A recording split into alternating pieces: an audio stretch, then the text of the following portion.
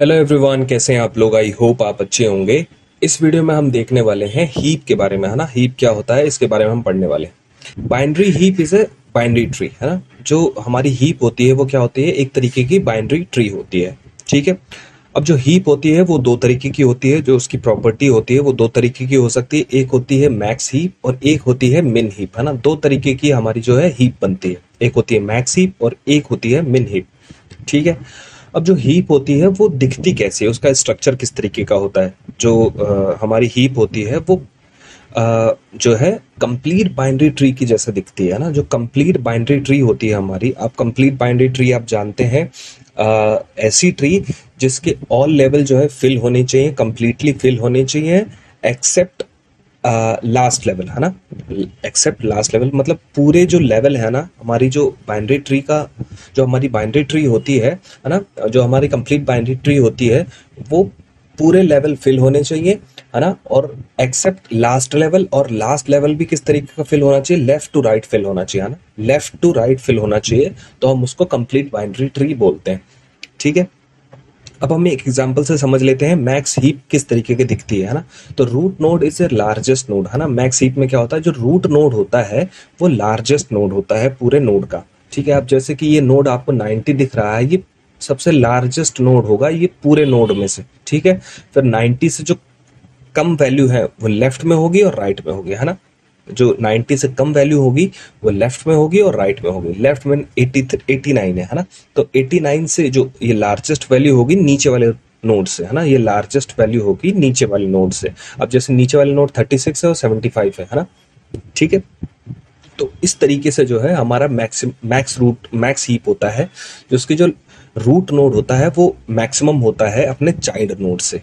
ठीक है? अब जैसे ये 70 है 70 जो है लार्जेस्ट वैल्यू होगी अपने चाइल्ड नोड से ठीक है? चाइल्ड नोड से जो है लार्जेस्ट वैल्यू होगी ठीक है?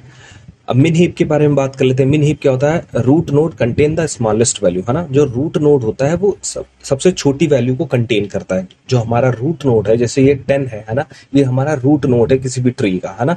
तो ये सबसे छोटी वैल्यू कंटेन करेगा है ना? जो भी ट्री में सबसे छोटी वैल्यू है टेन जैसे इसमें टेन है तो टेन जो है सबसे छोटी वैल्यू है तो ये रूट नोड में आएगी, है ना?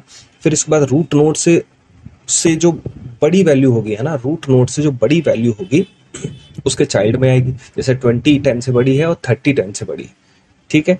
इसी तरीके से जो थर्टी का चाइल्ड होगा, है ना? जो थर्टी का चाइल्ड होगा वो अपने रूट नोट से बड़ा होगा। थर्टी का चाइल्ड सिक्सटी फोर है, वो रूट नोट से बड़ा है अपने अपने रूट नोट से बड़ा है। ठीक है सिक्सटी सेवन अपने रूट नोट से बड़ा हुआ है है ना? तो इस तरीके से जो है, हम मिन हीप हमारा जो है बन के तैयार होता है। ठीक है, अब इसमें क्या करते हैं? जब तक एक लेवल भर नहीं जाता, अगले लेवल को ओपन नहीं करते। जब हम हीप को बनाते हैं तो क्या करते हैं? जब तक एक लेवल भर नहीं जाएगा, जब तक अगले लेवल को हम ओपन नहीं करते। ठीक है अब किस तरीके से अभी मैं आगे बताता हूँ। लेफ़्ट टू राइट फिल करते हैं। अब जब भी हम हीप को बनाना स्टार्ट करेंगे तो लेफ़्ट टू राइट हम फिल करते हैं। लेफ़्ट टू राइट अब किस तरीके से, जैसे कि मान लीजिए ये एक नोड है है ना? तो मैंने ए लिख दिया, है ना? एक नोड हमने ए लिख दिया।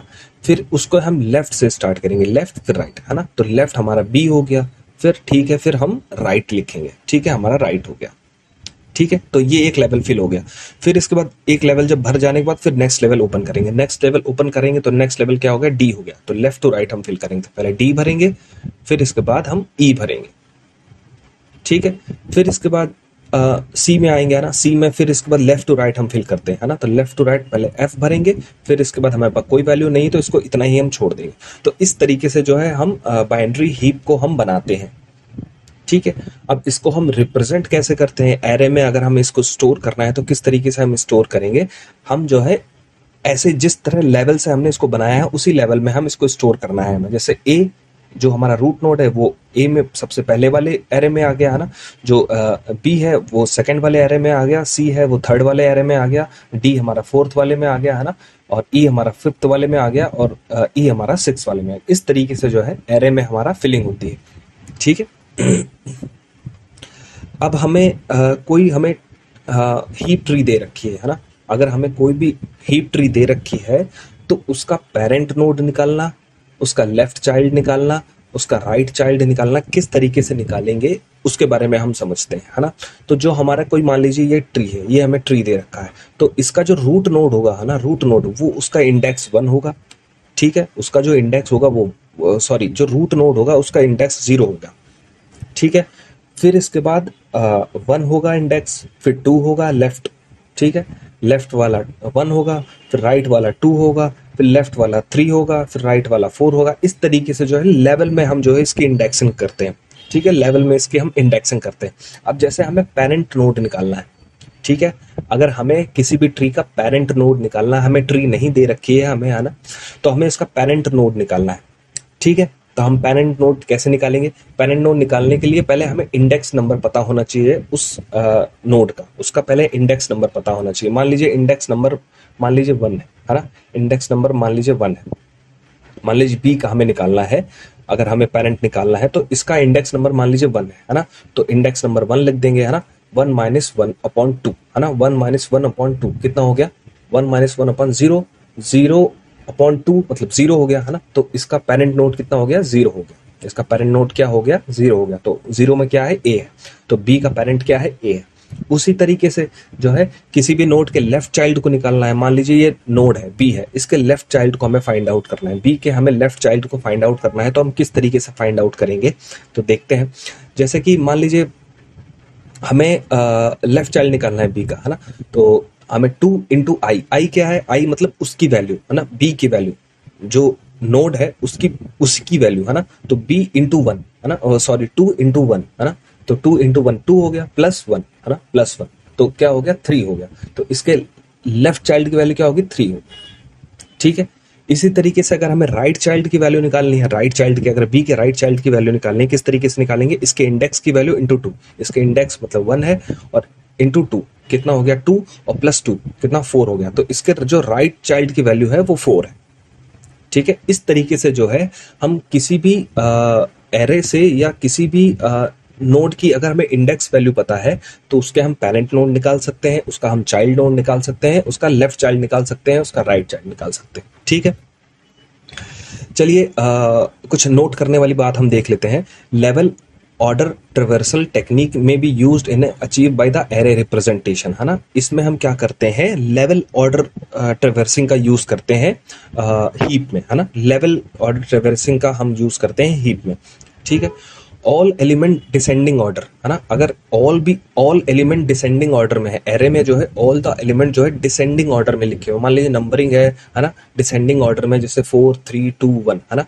तो वो हमें क्या कहलाएगी? वो हमारी कहलाएगी डेफिनेटली मैक्स हीप कहलाएगी। वो क्या कहलाएगी? मैक्स हीप कहलाएगी हमारी, क्योंकि फोर से लेकर के कम होते चले जा रहे हैं। मतलब मैक्सिमम से लेकर के, है ना मिनिमम तक जा रहे हैं तो ये हमारी क्या कहलाएगी? मैक्सिमम हीप हीप कहलाएगी। अगर डिसेंडिंग ऑर्डर में लिखे हुए हैं तो ये डेफिनेटली मैक्सिमम हीप कहलाएगी। ठीक है all element not descending order अगर ऑल एलिमेंट जो दिए गए हैं एरे में, वो डिसेंडिंग ऑर्डर में नहीं है ना? डिसेंडिंग ऑर्डर में नहीं है तो ये मैक्स हीप हो भी सकते हैं और नहीं भी हो सकते हैं। ये मैक्स हीप हो भी सकते हैं और नहीं भी हो सकते हैं। ठीक है? If all element are descending order अगर कोई ऐसे एरे दे रखा है और उसमें ऑल एलिमेंट जो है डिसेंडिंग असेंडिंग ऑर्डर में ऑल एलिमेंट जो है असेंडिंग ऑर्डर में है तो इस तरीके की हीप को हम क्या बोलेंगे? मिन हीप बोलेंगे। इसको डेफिनेटली मिन हीप बोलेंगे। ठीक है? अगर ऑल एलिमेंट असेंडिंग ऑर्डर में नहीं है अगर कोई भी ऐसा एलिमेंट है जो असेंडिंग ऑर्डर में नहीं है ना? ठीक है? तो वो आ, मिन हीप हो भी सकता है और मिन हीप नहीं भी हो सकता है। ठीक है? तो ये नोट करने वाली बात है ये मैंने आपको बता दी। देन हम कुछ प्रॉब्लम्स के बारे में देखते हैं कि ये किस तरीके से हम प्रॉब्लम सॉल्व करते हैं। हीप के बारे में, ठीक है?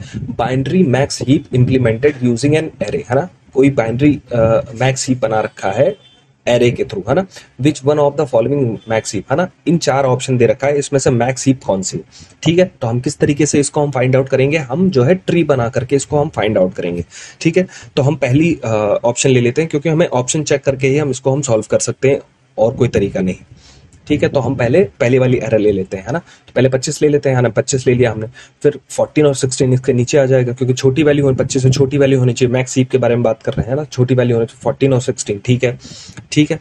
फिर इसके बाद थर्टीन और टेन है ना? तो पहले हर एक लेवल को फिल होना चाहिए, है ना? पहले एक लेवल फिल हो जाए, फिर नेक्स्ट लेवल हम फिल करते हैं लेफ़्ट टू राइट ठीक है? तो हम पर लेफ़्ट वाले में थर्टीन और टेन रखेंगे, है ना? तो फोर्टीन से जो है कम है थर्टीन और टेन ठीक है? फिर इसके बाद हम एट और ट्वेल्व को रखेंगे, है ना? सिक्सटीन में हम एट और ट्वेल्व को रखेंगे। तो हमारा जो है ये ट्री बन के तैयार हो गया। तो ये हमारा ट्री जो है सही लग रहा है, क्योंकि 25 से कम छोटी वैल्यू है, फिर इसके बाद 14 से छोटी वैल्यू है, फिर 16 से ये 8 और 12 छोटी वैल्यू ठीक है? है ना? तो ये हमें सही लग रहा है, ये वाला ऑप्शन ठीक है? ये वाला ऑप्शन हमें सही लग रहा है। अब हम दूसरे ऑप्शन को चेक कर लेते हैं पहले 25 है, फिर 12 और 16 है ना? तो 25 से 12 और 16 कम है। ठीक है, ये हमें समझ में आ गया। फिर इसके बाद हम 12 में क्या रखेंगे? हम 13 और टेन रखेंगे, है ना? 13 और टेन रखेंगे। तो 13 तो 12 से बड़ा है, थर्टीन जो है ट्वेल्व से बड़ा है तो ये हमारी मैक्स हीप नहीं कहलाएँगी। तो इस क्वेश्चन में जो हमारा आंसर हो जाएगा, वो पहले वाला जो ऑप्शन है, वो हमारा सही हो जाएगा। सो इस तरीके से जो है हम मैक्स हीप को हम बता सकते हैं, कोई भी एरे अगर हमें दे रखा है। So thank you